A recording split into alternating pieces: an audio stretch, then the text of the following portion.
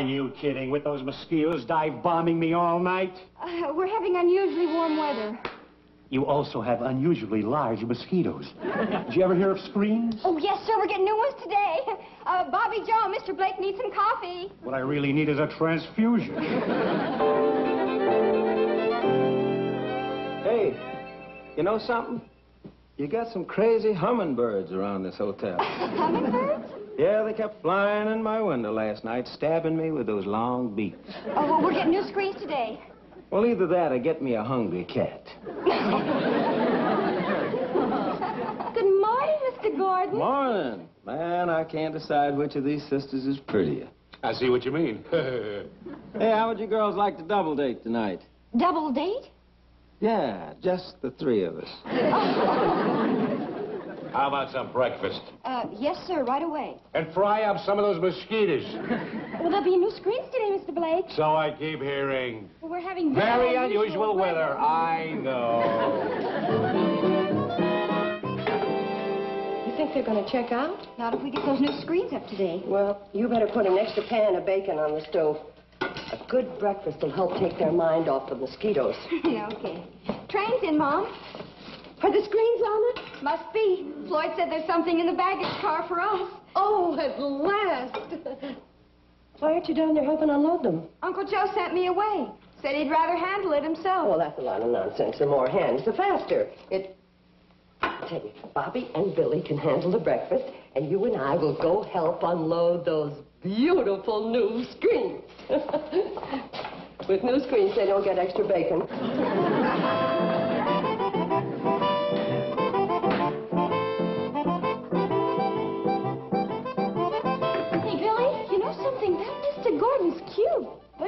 He's kind of a wolf. Yeah, I know. And I worry about you being in there alone, here.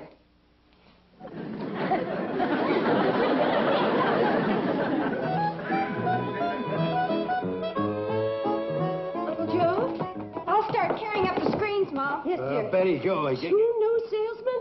Uh, well, uh, more like one. Well, one's better than none. Where is he? Hey, you might say standing right here. Oh, you're a salesman now. Well, not exactly, no. Technically, it's more like a franchised agent. Oh, fine. Well, you tell me all about it while we carry up the screens, huh? Okay. Huh? Screens didn't come. Oh, no. Well, that's the last time that I order screens through a magazine ad. They said that if I would mail the money in advance, that they would guarantee delivery with the... You did send the money, didn't you, Uncle Joe? Oh, sure I did. well, it's the last $70 we had in the world. In fact, it's Billie Jo's college money. Well, I know that, Kate. Uncle Joe, tell me you didn't spend that money. I didn't. Oh, I invested it. oh and what?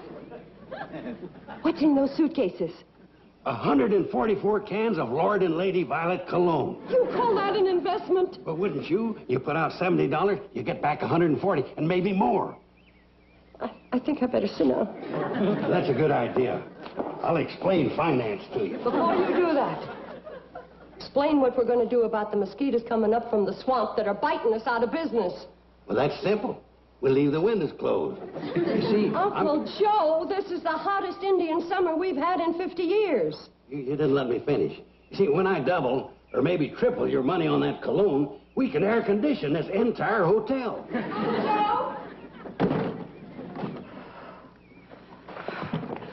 couldn't find any screens, Mom, but these were down by the track.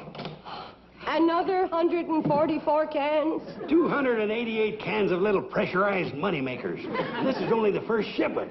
Can I talk him into giving me the exclusive franchise for this whole half of the state? Uh, honey, run quick to the kitchen and tell Billie Jo to uh, fry up some extra bacon. Uncle Joe, uh, how could this happen? I can't take all the credit, Kate. It must have been the hand of destiny that put that ad for screens right next to this glorious opportunity that I'd been looking for all my life. Here, read this. My eyes are too full of tears. Yeah, I get misty-eyed, too, when I think of all the money that's going to come rolling in. I'm thinking of the money that's gone rolling out. Billie Jo's college money. I'll send that girl to one of the best colleges in the country. Listen to this. How Mr. A.J. Simmons of Lamar, Missouri earns $90 a week in his spare time. As franchise agent for Lord and Lady Violet Cologne. Did you hear that, Kate? That's just in his spare time. I'm going to work full time. That'll mean two, three hundred dollars a week more. Uncle Joe, let's go have some breakfast. Not for me. I got work to do. I got sales campaigns to organize, distribution to map out, bookkeeping to set up. Kate, can't you just hear opportunity knocking? Hear it? I got a splitting headache from it. She's a fine little woman. She just don't understand business.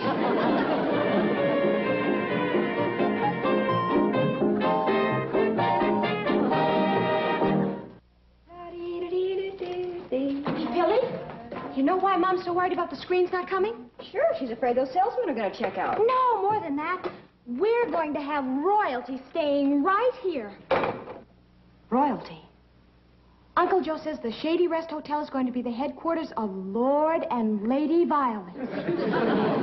well, why didn't he tell me about him? Well, he went tearing off before I could ask. He said he had to practice his presentation. Well, we've got some practicing to do if we're going to be presented to royalty. Uh, Bend. Your ladyship. Charmed, Your Grace. Good morning, ladies. Could I have a moment of your time to introduce Lord and Lady Violet? They're here. Uncle Joe, you should have told us. was there a mess? Glad, girls, you're making me forget my speech. Has romance disappeared from your lives? Has your husband and boyfriend lost interest in you? Let Lady Violet bring back that gleam in his eye. And for the man in your life, we have a rugged masculine fragrance, Lord Violet. Yes, girls, promise him anything, but give him... Uncle Joe, what in the world are you talking about? I'm talking about that new fragrance that set all London to talking. There's Lady Violet Cologne for females and Lord Violet Cologne for males. Cologne? This ain't ordinary cologne, lady.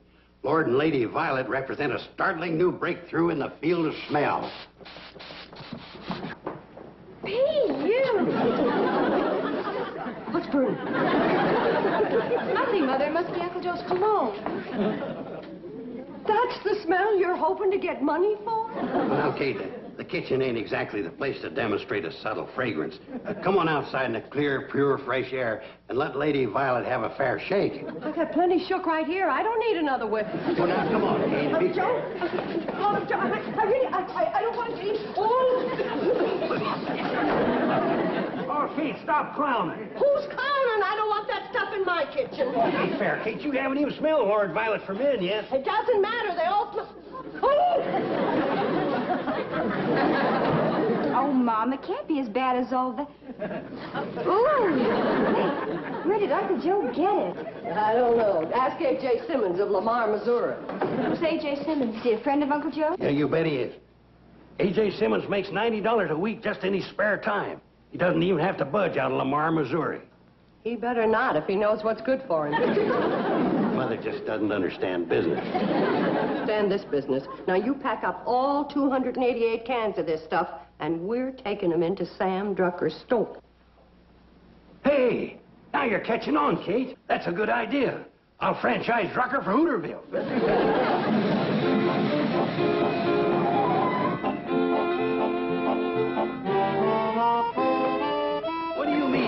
mean, sell to Drucker for 25 cents a can? That's what I paid for it. All I want to do is get Billie Jo's college money back Well- so I can buy new screens. Kate, you still don't understand profit and loss. If you sell at cost, it's bad business. It's bad cologne. No, but sales-wise and market-wise, if you ain't got a markup, you take a beating profit-wise. We're already taking a beating mosquito-wise.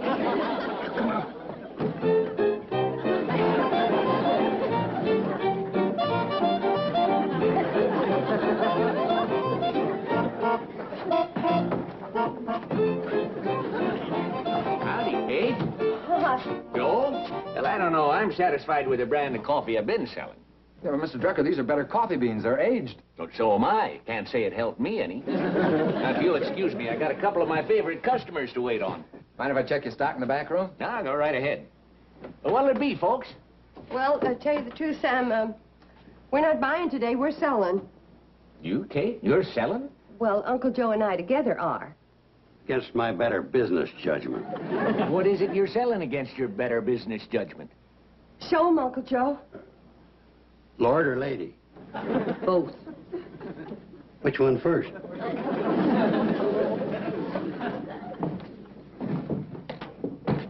Uh, hold it, Sam.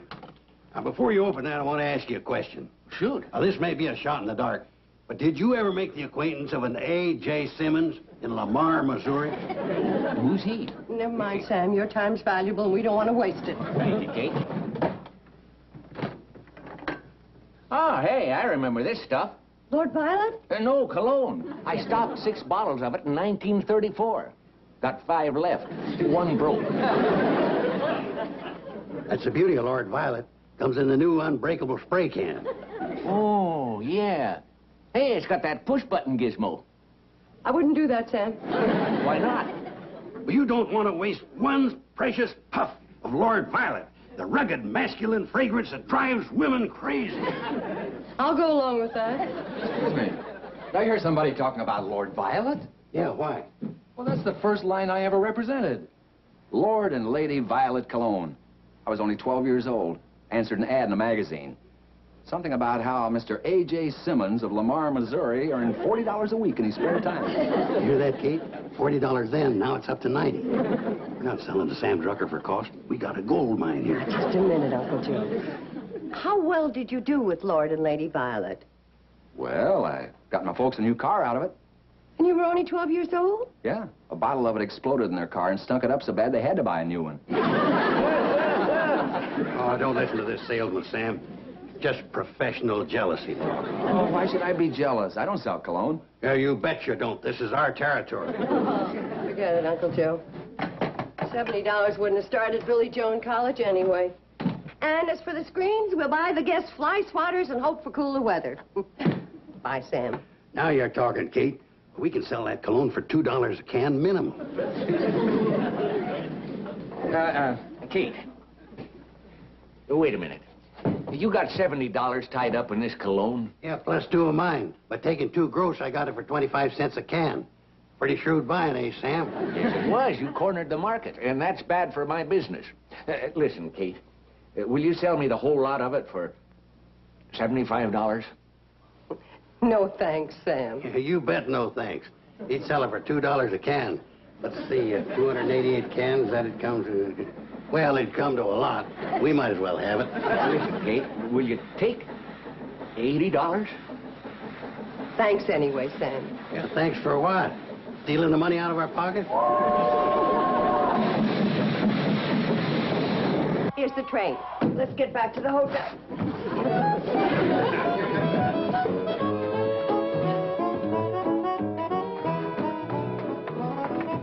Thanks. Kate, you get on back to the hotel. I'm going to start house to house here in Hooterville.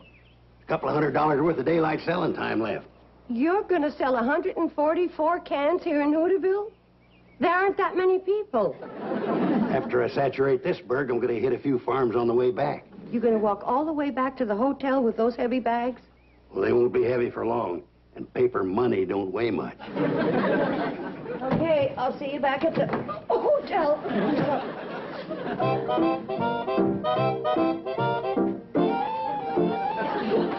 It, weed, Drucker. This stuff's going to put you out of business. You're not kidding. Take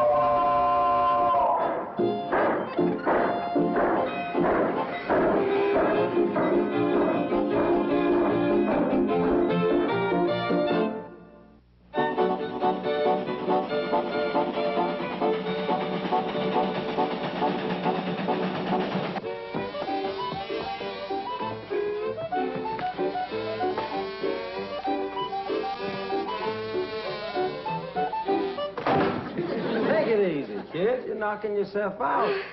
Uh, I don't mind. What happened to your helpers? Yeah, where'd those big sisters of yours disappear, too?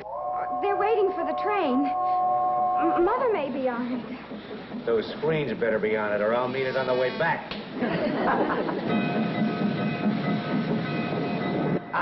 Why don't you gentlemen come inside where the mosquitoes won't bother you?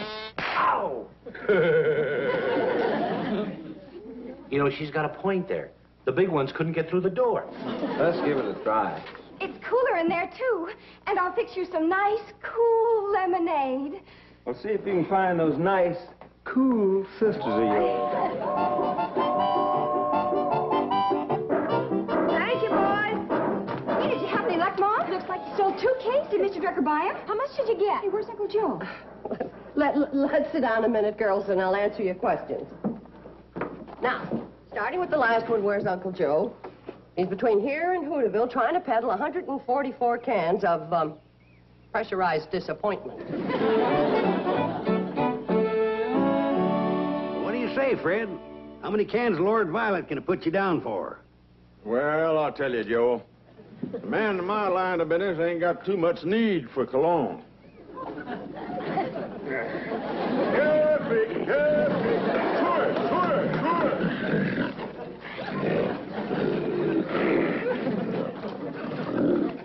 Say, Fred, has it ever occurred to you that a pig farmer might be among those most likely to offend Offend who? whoever he meets up with?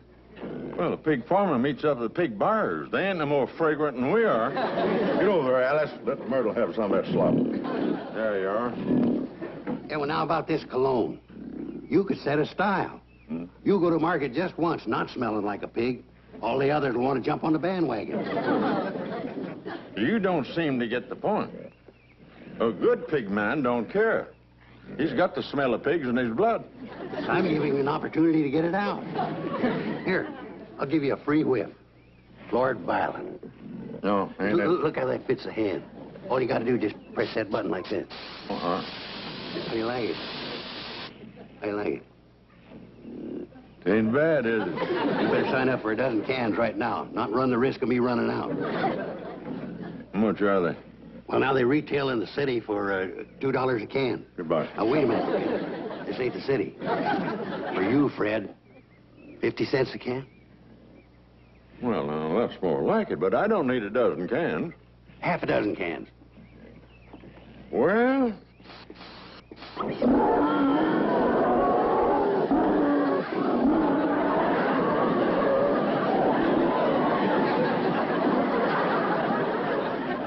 What do they know?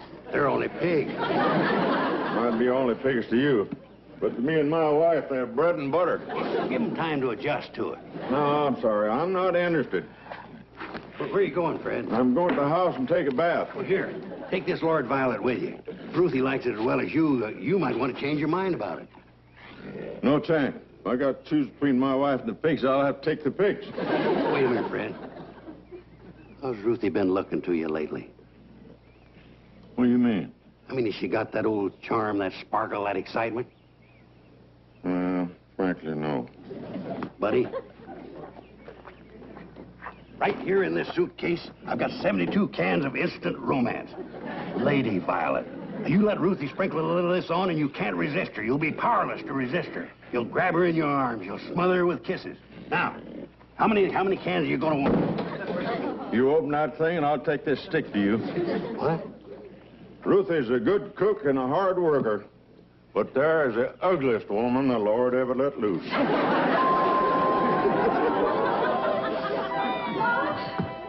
If we don't do something real quick, Mr. Blake and Mr. Gordon are going to check out. Oh, dear. I, I don't want to lose their business. They're crackerjack salesmen. Mom, I've got an idea. If anyone can sell Lord and Lady Violet cologne, it's those two. Well, I'm sure of that, honey, but how do we sell it to them? Oh, I know how to do that. You sit down. Now, listen, Mom. Now, Mr. Gordon is sort of a wolf, and he's always asking Bobbie and me for dates. I know, I know. Listen, I've got an idea. Now, here comes...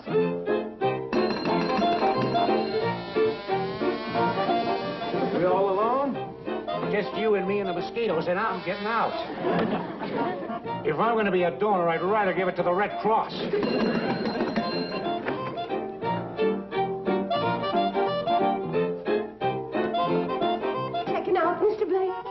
Screens come? Not yet. I'm checking out.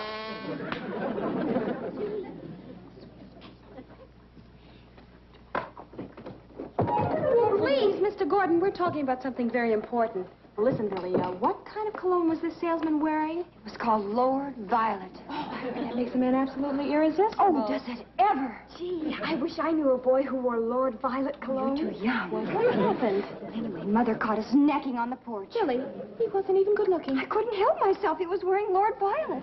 What happened after Mom caught you? The mother ordered him away, but he left me two suitcases full of Lord and Lady Violet as a present. Oh, Billie, you can sell it and make a fortune. I never thought of that. Where is it? It's around on the porch. I didn't want Mom to see it. Oh, come on.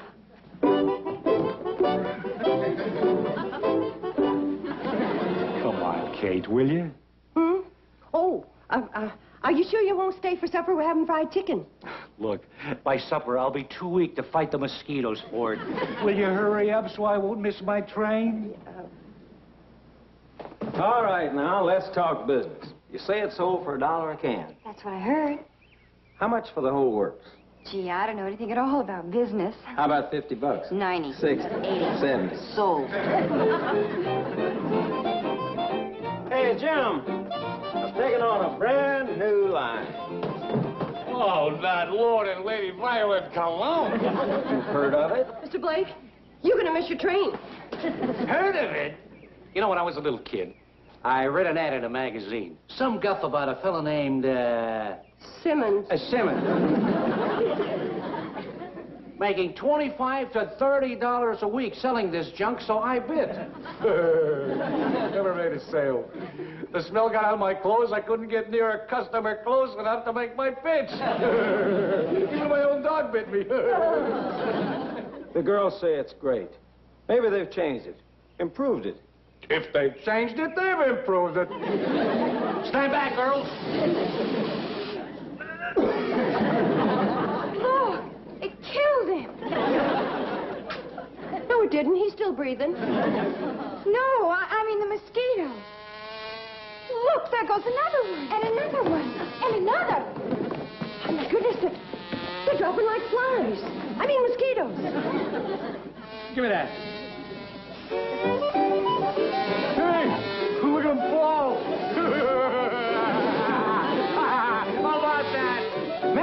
Man, it really stones. Give me back my insecticide. I've got the hottest new item here since DDT. Hey, girls, could you give me a hand? Hey, two more cases. These are mine. Oh, no, they're not. Are these full? All 144 cans. I'll give you 75 bucks for both of them. I'll make it 80. 85, 90, 100 dollars. So, There you go. Hey, Jim. Oh. Wait a minute, Jim. Let's make a deal. We'll split the territory. Hey, look what I just did. Sold out for a hundred bucks. I told you that was good cologne. And I still got half my stock left. oh, no, you haven't. Billie Jo sold the other two cases for 70. 70. She just lost me 30 bucks. When are you women going to learn you don't belong in business? From now on, leave these things to me. Yes, Uncle Joe. What's A.J. Simmons going to think? Yes, Uncle Joe. I'll bet he hasn't got four females holding him back. Yes, Uncle Joe.